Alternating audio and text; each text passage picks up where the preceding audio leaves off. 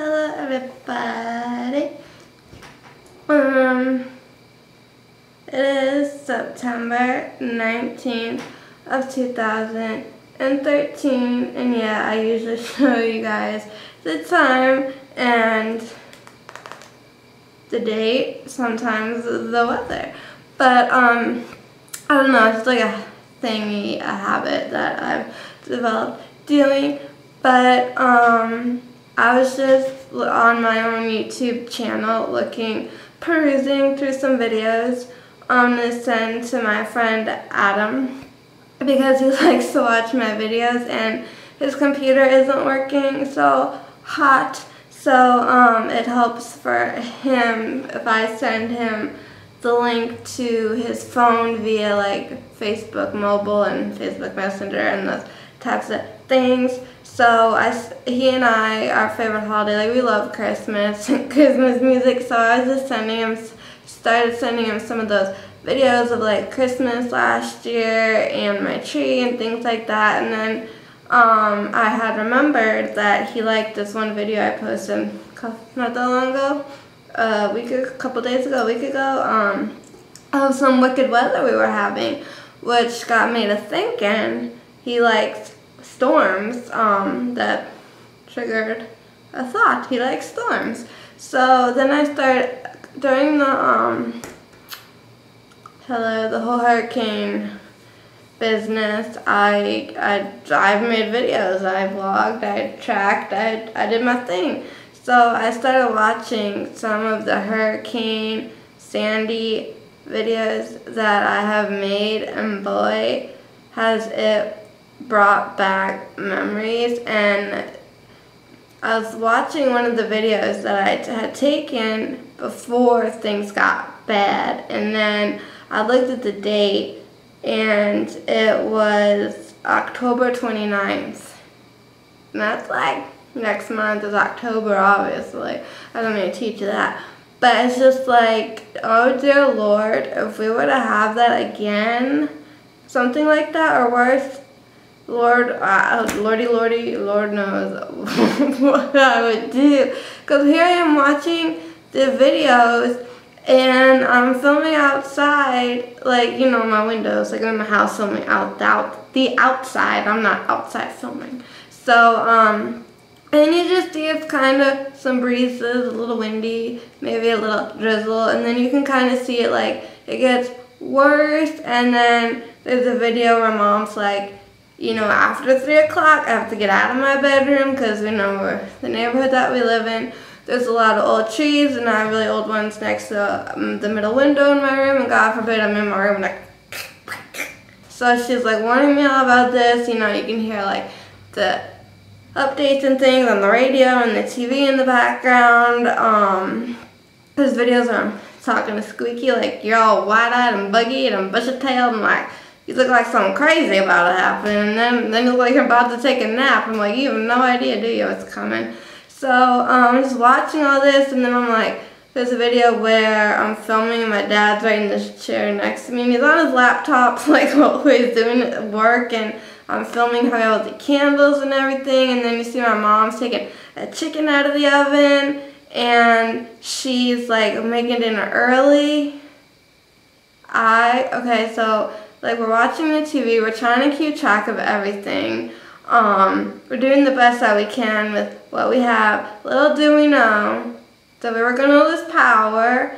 Um, I remember trying to eat my lunch. I was trying to eat some rice. I was trying to eat a chicken a salad, a sandwich, and taking teeny bites. I was so nauseous. My nerves were like through the roof. And what made it worse is the lights started flickering. So I'm like sitting on a chair, then sitting on the floor. I'm trying to like find a spot. I'm trying to like stay calm. I was talking to a friend named Justin on Facebook. I'm trying to keep track of things through social media, and then lo and behold, the power goes out. But I was very smart. I'm to back it up a minute.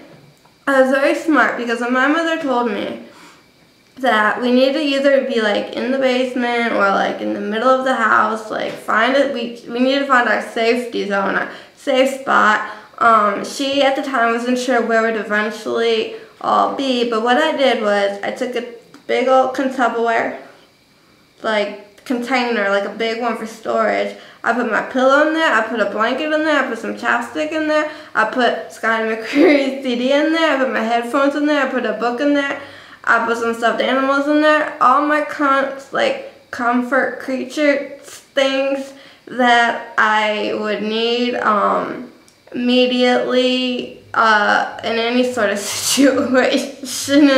um, I just put them all and I'm walking around with my bin like kind of like a homeless person, kind of like, where do I go? So I plopped myself in the living room and that's where the three of us ultimately ended up staying all night long. So I was very smart to do that because what happened was my anxiety was like, woohoo. I mean, the power goes out, so I start like really losing it. You know, there's these noises aside from the wicked winds and the rain, because it's scary in the dark because you can't see stuff. You know what I'm saying? Like, you can't see shit. So it's like, you don't know what the frick's going on, and that makes it all the more scary, is the unknown. All you hear is these bizarre crackle, windy, blowy noises, and this sireny thing that won't shut up. Then the police are knocking on your door and they're trying to find someone's house and it's like, it's not us. And I'm just like freaking out that the cats couldn't get out because everyone's all like, Ooh. So, um, it's just gone crazy. And this is like TMI, but I got sick. That's how freaking scared I was. So, um, I was sitting on the floor. I remember exactly where I was. And then my mom's like, just try to like calm down, like not focus so much on it. She's like, do you have any music to distract yourself? All this stuff. Meanwhile, this is my device, okay? But my dad, it when he's like, power goes out, phones go off because you need to save your battery. So I'm very blessed to have a mother who decided to keep my CD player, you know, like a Discman, portable CD player from middle school. Um, and we, she got that. I had my headphones. We put in Scotty McCreery Christmas CD. Holly Jolly Christmas was playing in my ears. And I was sucking on a Queasy Pop.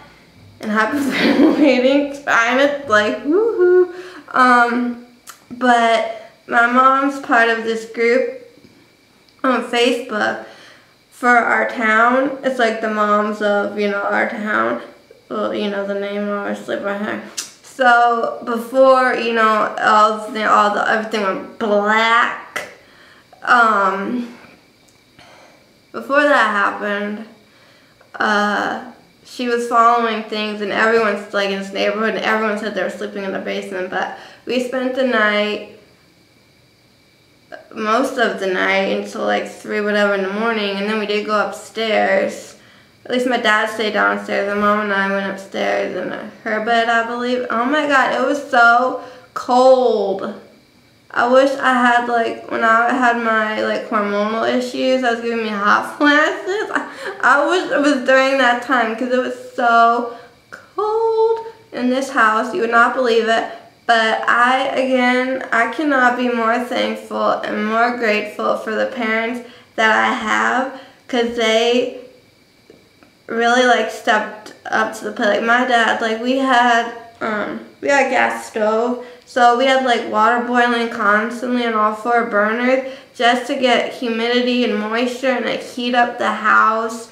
Um, whenever we could spare uh, a little electricity, um, from the generator. We have one lamp and it on always um, in this kitchen and there was a candle I had lit on this table. So he made sure that this house was as warm as it could be and that we had some form of light so I wasn't completely in the dark.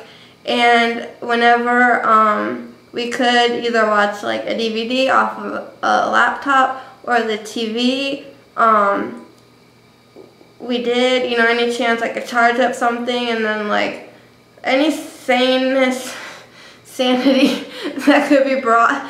You know, they did the best they could, and I felt like out of this whole neighborhood, we probably the warmest house and the brightest house, because like you go anywhere if you even could, and you'd come back into this neighborhood on our street, like we had a light in the window. You saw a light. I mean, they honestly did the best they could, and um, but who knew that on October 29th, at that night when the power went out, that I would be out of power. We'd be out of power in this house in this neighborhood for two solid weeks. I had some friends over and we were talking about this and they're like, oh, we didn't have power for like eight days or like a couple of days and they and we're like two weeks and they almost all fell out of their chair. They couldn't believe it. So, but I was very fortunate. Um, and what, made things tricky though was my grandmother was on oxygen. So even like the police, they were bringing gas to my grandparents' house, keep their generator going, but we were trying to get them into Fellowship Village just for a little while so my grandmother could have uh, her oxygen and when we went over there they had some power but while we were still there because I was visiting with everybody um, they got full power and with that let me tell you so this the retire because obviously you know it goes level of priority so like hospitals and nursing homes they're going to be the first right so then that little part of town um, started getting power back. So we're at this hotel and my mom's like, get in line to book a room, but there was a wait list. First come, first serve, put your name down. So we're waiting, and while we're waiting, my mom went to go get gas. She had an opportunity. She's like, I'll wait 10 minutes, I'll come back. Then I get a call saying, because there's another hotel, it's right across from Fellowship. She's like, I got I got everyone a room there. Um, take your name off the list so somebody else could have it, like cancel that. So for a couple of days, and I did, you know, vlog and film all this, I got to be in a hotel room, um, which, and luckily to, I was able to my, live off of gluten-free macaroni and cheese because I could just cook it in the microwave, and I'd like to thank my friend Chardonnay. um, and just, you know, being able to just be around people and, and, and, light and to have a TV and some normalcy, even though I'd be up all night, I'm not able to sleep, you know, putting YouTube videos together um, on my laptop. And, you know, my dad, he'd be out like till 2 plus in the morning running all the cars back and forth to fill up the gas. And luckily, the only good thing that I can say about my car, because it's from 2005, is you can siphon gas out of it. So that car got used a lot during the hurricane. Because the new cars, they have special safety features to where you can't siphon gas out of them. So um, that's the only thing that I like about my car. And if we get rid of it anytime soon, there's a hurricane, I'll be damned. I'm like, why did I want to get rid of you? You saved my life. Oh my god. So, but no, um, it's just like watching those videos and it's just like bringing back all this emotion and it's just like I can't believe like that ever happened. I mean, it's just, uh, I, I mean, I don't. So, um, I, I was kind of wanted to talk about it, but me, I, oh my gosh, like, I, my mom and I, we still have post-traumatic stress disorder from it. Um, definitely was really bad because we could only stay, like it got to the point where at the hotel they kind of like had people coming in. I don't know who the heck would want to come in uh, to, to this aftermath, but there's people coming and it was kind of like each day before when you had to check out, that was when you could check to see if you check in again. So kind of our time was allotted. But luckily for my brother and his wife and his kids, they got their power back.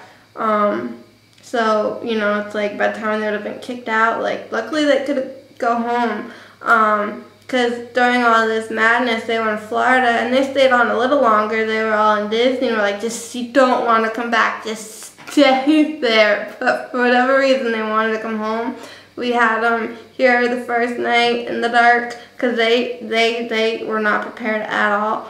Um, so you know we had them. We brought we took Suzanne in, um, and um, my aunt and uncle and my cousin. Uh, they they resided at at their home. They didn't.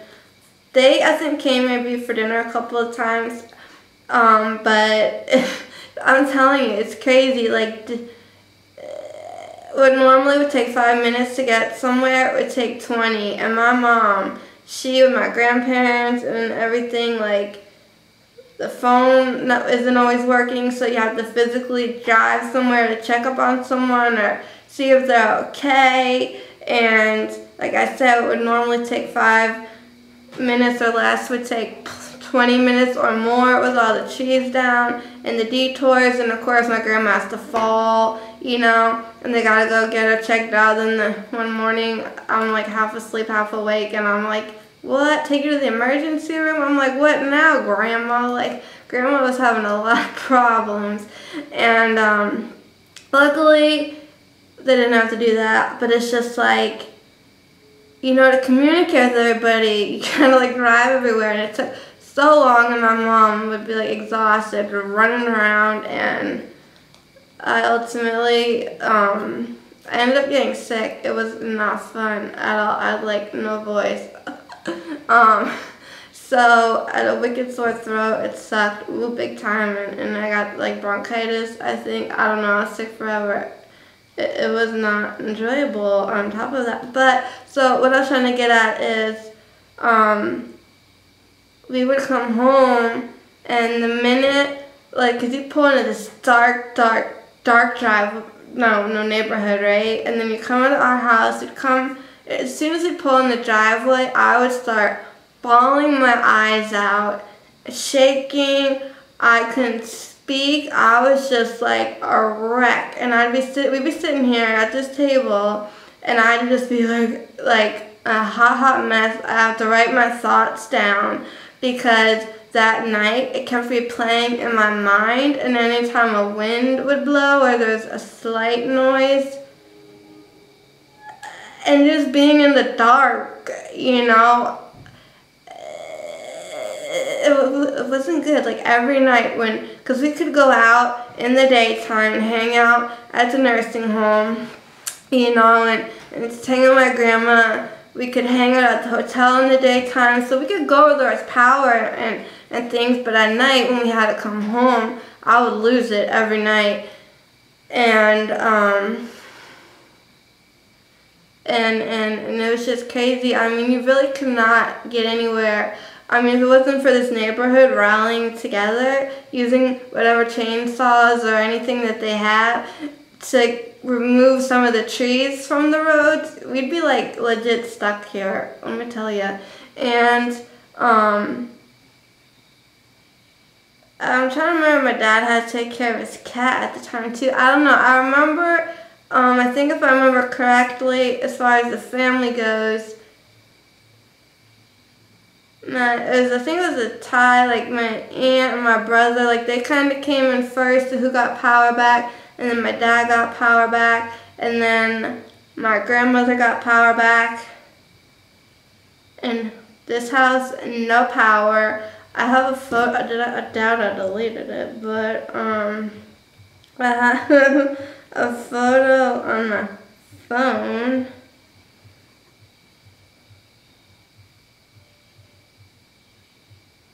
Oh, the video did. Oh, hello.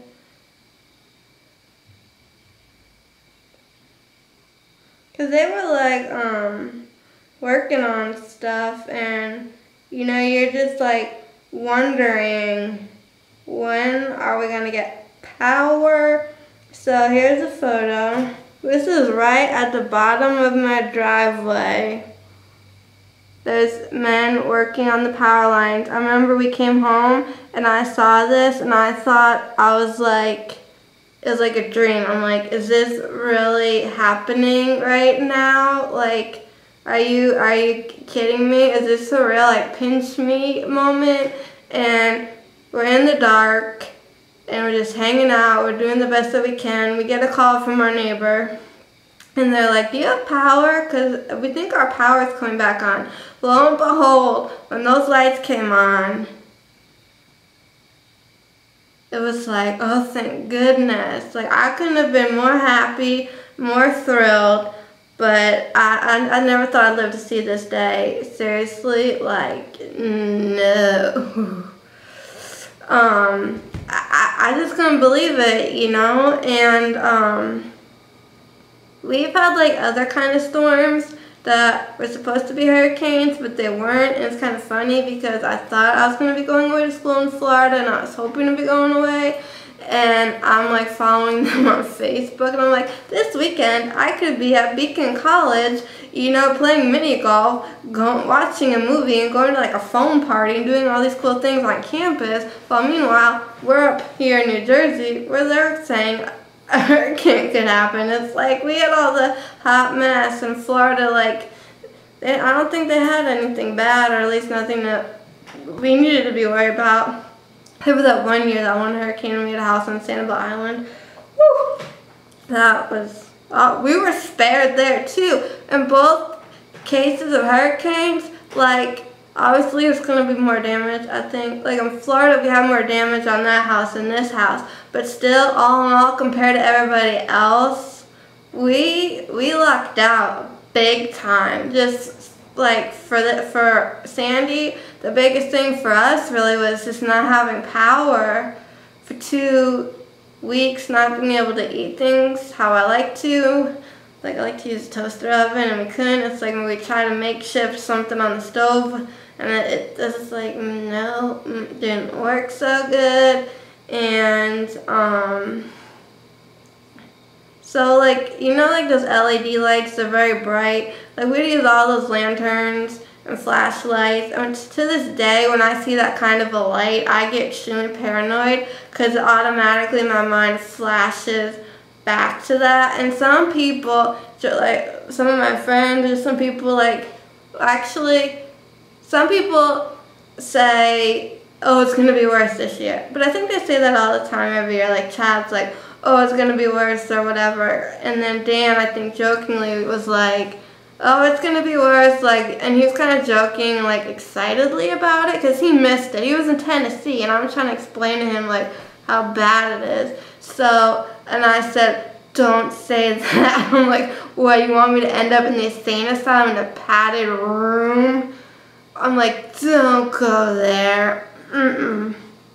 So, um, I just, you know, it's like, or it's we're gonna be fall soon, and we're in September, and then, like I said earlier, comes October. Actually, our town, our neighborhood, I don't know how all of New Jersey was affected, but for two years, we didn't have a Halloween. One year, we were down for Halloween in Disney World and at home we had a freak snowstorm. Halloween got canceled and because of Sandy, Halloween got canceled. So let's hope for no more hurricanes and that the kids can have Halloween this year. So this is my story. Um, Um, I might do another one interviewing my mom and her perspective on it. So thank you so much for watching this video and if you have any questions or comments, please feel free to leave them below and keep it quirky.